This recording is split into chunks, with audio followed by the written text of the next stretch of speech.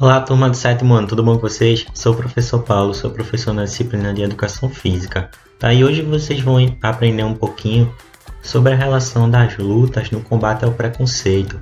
Tá? Algumas práticas corporais elas têm, elas têm um papel importantíssimo no combate ao preconceito que acontecem na sociedade, como por exemplo pode ser preconceitos raciais. Tá?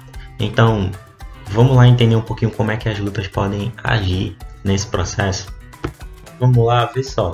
Nessa unidade nós aprendemos sobre algumas lutas, tá? E também tem as lutas indígenas. Então, cada luta depende, ela é criada ou prática corporal, ela é criada dentro de um contexto, tá? E dependendo da, do que se passa na sociedade, as lutas podem ser utilizadas para representar algum movimento, tá? Então, vê só. É, cada luta e arte marcial carrega justamente essa história do povo em que ela criou ou que ela se fortaleceu. E aí a gente pode afirmar que a luta pelos direitos humanos e pelo respeito à diversidade ela é universal. Então nós não podemos é, lutar por essas reivindicações apenas em determinados momentos da sociedade. A gente acaba transcendendo isso e levando para outros momentos, como a prática esportiva em si. Então, Muhammad Ali, ele foi um grande lutador de boxe. Sua história é um exemplo dessa luta, combate ao preconceito, tá? E de como é possível vencer esses preconceitos e afirmar a diversidade, tá? Nós vivemos em um mundo repleto de culturas, tá? E nós não podemos é, realizar ou fazer ações preconceituosas e achar que isso é o certo, tá? Pelo contexto diverso em que nós vivemos. Então vamos lá. Cássio Marcelos Clay Jr. é o seu nome de batismo. Ele nasceu em 17 de janeiro de 42 em Louisville, Kentucky, nos Estados Unidos. Ele é considerado um dos maiores lutadores de boxe da história, além de ser muito respeitado por sua, a sua atuação nas causas humanitárias. Embora tenha conquistado em 1960 a medalha de ouro de boxe nos Jogos Olímpicos de Roma, Ali continuou sofrendo preconceito racial nos Estados Unidos. Por esse motivo, depois de não ter é, atendido, de não ser atendido em um restaurante, ele atirou sua medalha olímpica no Rio, Ohio, como forma de protesto. Em 1960, Ali foi convocado para servir em 67 foi convocado para servir o exército dos Estados Unidos na Guerra do Vietnã como ele se recusou, ele perdeu todos os títulos que haviam conquistado e teve sua licença de boxeador caçada. Ele então passou a usar o nome Muhammad Ali após se converter ao islamismo, religião cujos fiéis sofrem muita discriminação nos Estados Unidos. Muhammad Ali morreu em junho de 2016 aos 74 anos e é um dos muitos símbolos da luta contra o preconceito. Além da luta contra o preconceito racial, ele também lutou é, contra o preconceito religioso, tá?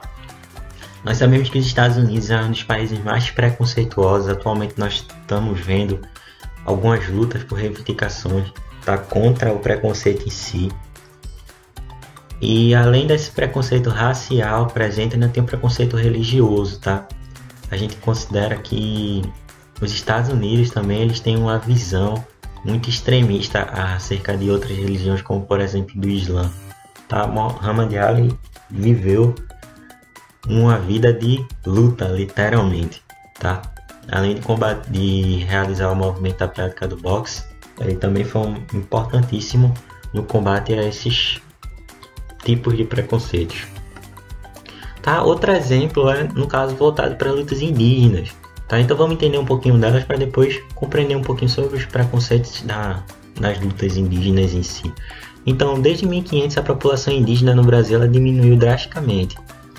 Segundo os dados da FUNAI, em 1500 a população indígena estava em torno de 3 milhões e constituíam 100% da população do Brasil, do país, no caso.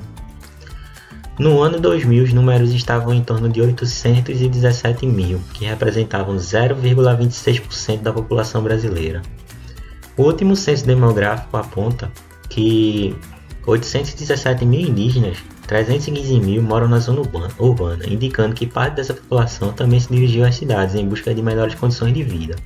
Contudo, o fato de não se encontrarem em zonas rurais não lhes tira a identidade indígena, que permanece independente do local de moradia.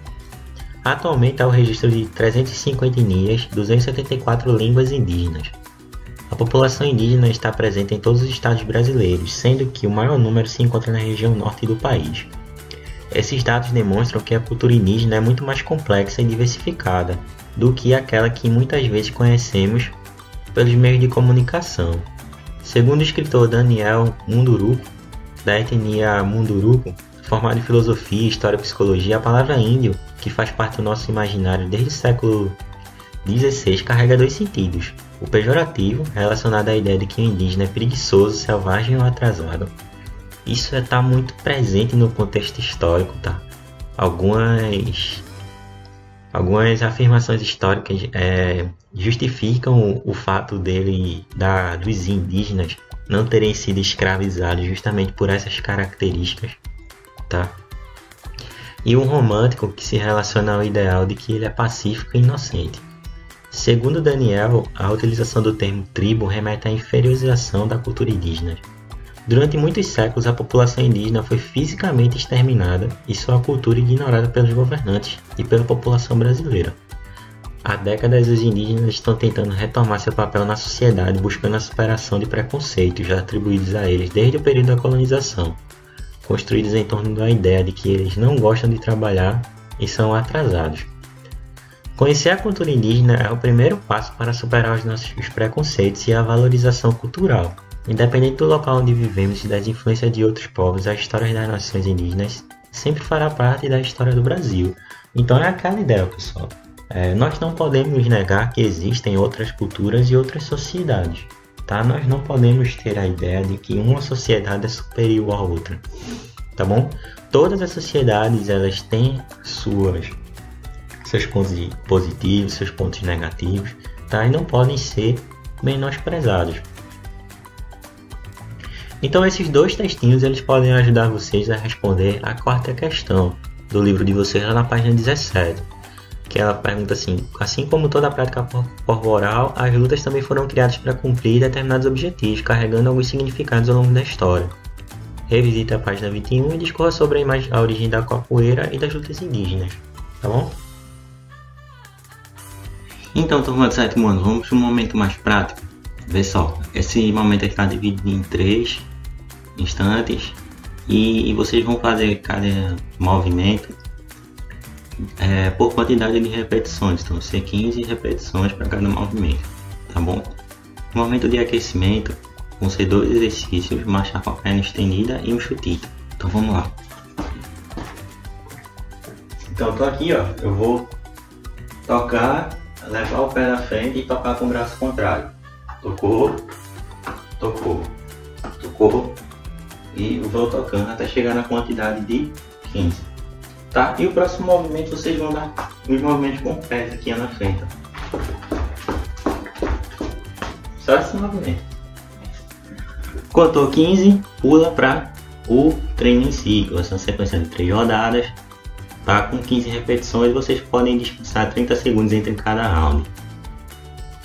Então vamos lá, pessoal. Vão ser quatro movimentos movimento de drible, flexão com rotação de tronco, salto lateral, alternando lados, tá? E um abdominal. Então vamos lá.